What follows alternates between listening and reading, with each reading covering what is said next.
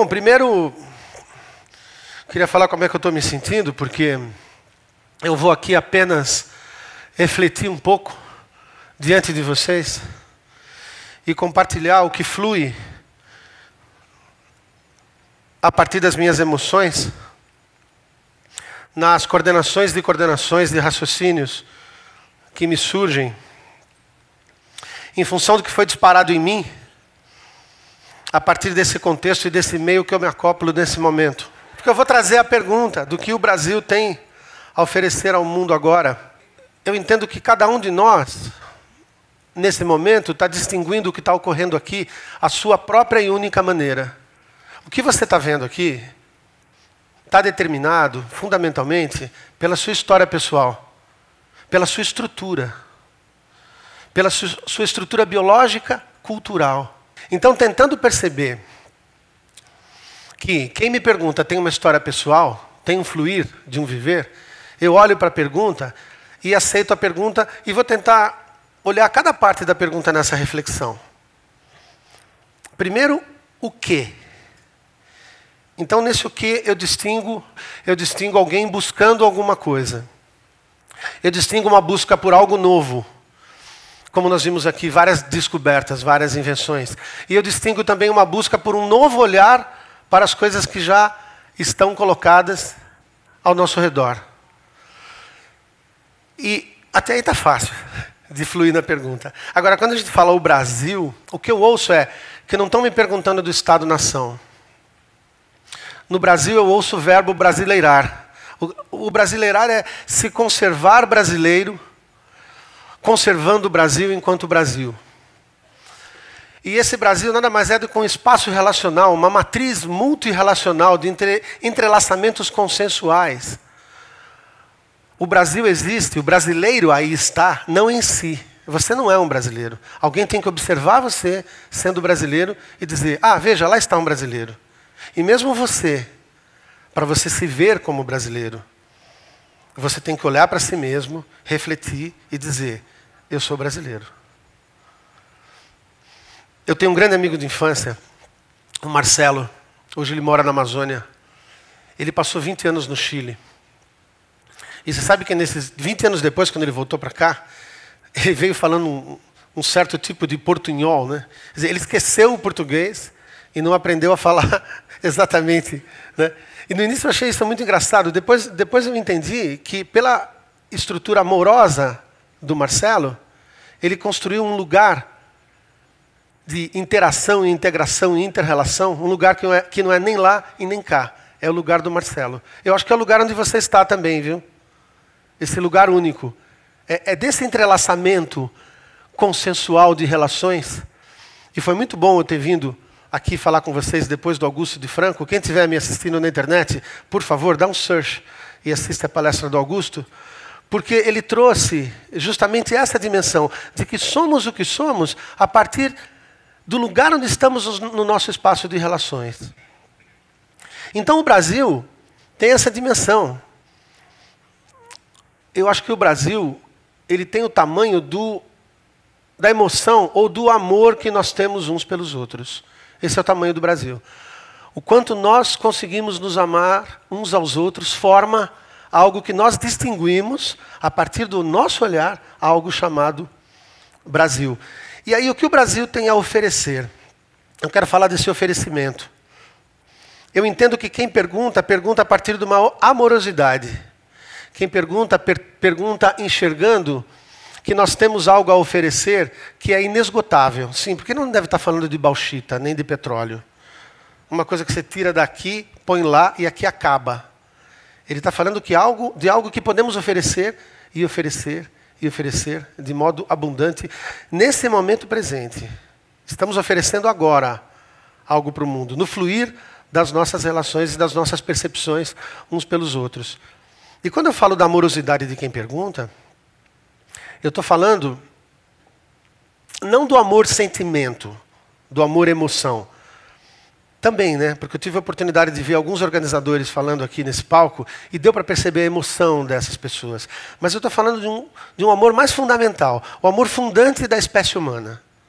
Nós somos seres cuidadores, cuidamos uns dos outros. Todo mundo que está aqui, de alguma maneira, foi cuidado por um outro ser humano adulto. Todas as pessoas que estão me assistindo agora, em todas as mídias, portáteis ou na internet, você que está me ouvindo, você foi cuidado, alguém te cuidou, por isso que você está vivo. Se alguém não nos cuida, nós não vivemos. Então, existe um princípio relacional básico da gente perceber o outro e cuidar dele. E ao perceber o outro, a gente percebe a si próprio. E nessa relação de um perceber o outro enquanto se vê percebido pelo outro, surge um mecanismo de interrelação que modela nossa própria biologia. Sim, porque somos humanos, porque vivemos nessa construção interrelacional. Não somos humanos porque nascemos biologicamente humanos. As meninas lobo, né? as crianças criadas pelos animais, elas não só não têm nossas características, elas não são humanas. O olhar não é humano, ela não se percebe como humana. Então é desse amor fundamental de cuidar uns dos outros que eu entendo que surge a pergunta do oferecimento. É nessa, nesse fluir de emoção. E quando ele coloca na pergunta o que o Brasil tem a oferecer ao mundo agora, eu entendo que quando ele coloca mundo, ele coloca a relação entre a nossa antroposfera e a biosfera. E essa relação só pode ser harmônica, complementar e integrada, ou seja, uma relação de vida. O mundo é algo fundamentalmente vivo. É isso que a pergunta me traz. E o que o Brasil tem a oferecer ao mundo agora Alguém já falou sobre isso aqui? Só existe o agora. O nosso passado é só uma explicação que nós construímos sobre nós mesmos a cada momento. O nosso passado lá não está em si. A gente olha para trás e diz: Ah, eu sou o Algarra que fez a TV digital e que. É só uma história que eu conto para mim mesmo. E o futuro é um conjunto de projeções e de vetores e de possibilidades que eu consigo distinguir a partir de onde eu estou em função da minha explicação sobre mim mesmo que eu trago do meu passado. Então, o passado não está e o futuro não está. Vivemos nesse momento presente, contínuo, cambiante, mutante. É um instante, momento zero, mas ele muda, muda, muda, muda. E é nesse momento agora que eu ouço alguém me perguntar e me convidar a agir. É isso que eu escuto da onde eu escuto quando ele diz o que o Brasil tem a oferecer ao mundo agora. Eu ouço a partir de uma amorosidade fundamental da nossa espécie, um convite para que essa matriz relacional de pessoas que se distinguem umas às outras como brasileiros possam agir. E aí eu ouso entrar, aproveitando o tempo que tenho, na resposta. E para mim, acho que a resposta é extremamente simples.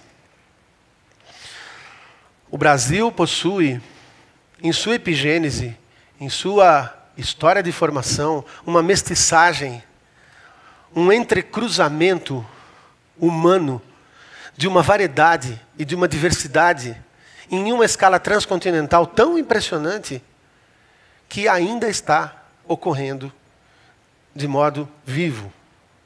Ou seja, nós ainda estamos nos apaixonando uns pelos outros independente da nossa altura, da cor dos nossos olhos,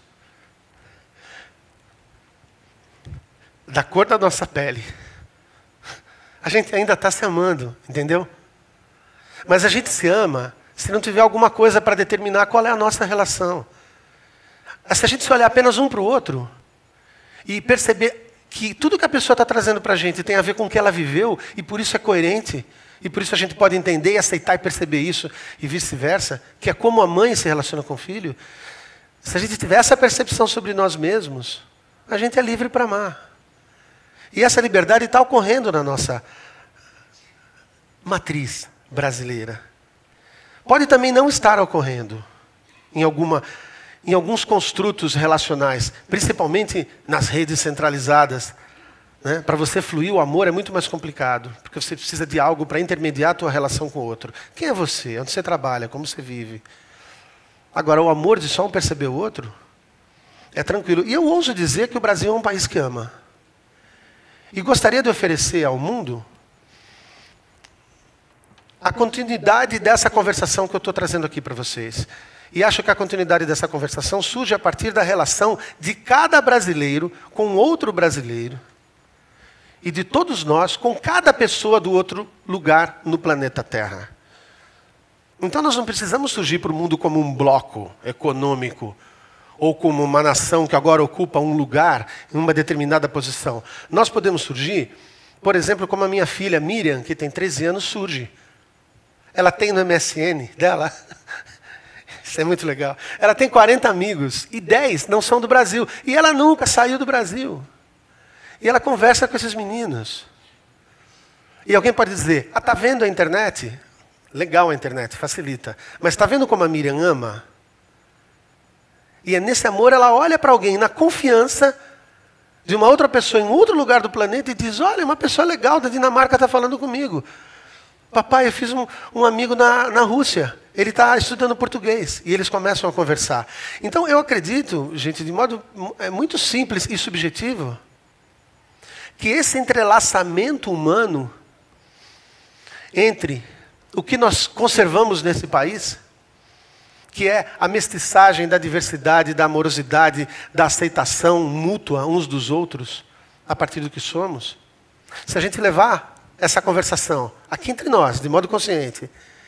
E se a gente levar essa conversação da maneira que for, seja através das salas de bate-papo, seja através das excursões, ou seja através da maneira como a gente recebe as pessoas do mundo todo aqui, em nossas casas, quando eles vêm nos visitar. Se a gente conservar isso tudo, talvez a gente leve algo para o planeta que vai nos ajudar a cada vez mais conservar um espaço de relação onde, conservando o meu viver, eu conservo o meio em que vivo e me realizo conservando esse viver no meio em que vivo. Parece um pouco circular a minha fala, mas eu deixo essa circularidade como um convite à reflexão para cada um de vocês, para que vocês possam continuar refletindo quando quiserem, perguntando coisas do tipo assim: eu quero querer o que quero? Eu quero estar onde quero estar? Como quero viver o que quero viver? O convite à reflexão tem essa dinâmica. Você dá um passo ao lado, olha para você mesmo, se relacionando com seu marido, com seu filho, com seu inimigo. Olha e diz assim: sistemicamente, ciberneticamente. Eu quero querer o que eu quero? E a partir do que eu estou querendo querer o que eu quero? E ele que está respondendo para mim. Ele está dizendo o que diz a partir de onde? Ou então você não precisa fazer nada disso, apenas ame, que o resultado é o mesmo. O cara vem aqui explicar o amor? Não, é só um convite. Muito obrigado a todos, um beijo enorme e até a próxima oportunidade.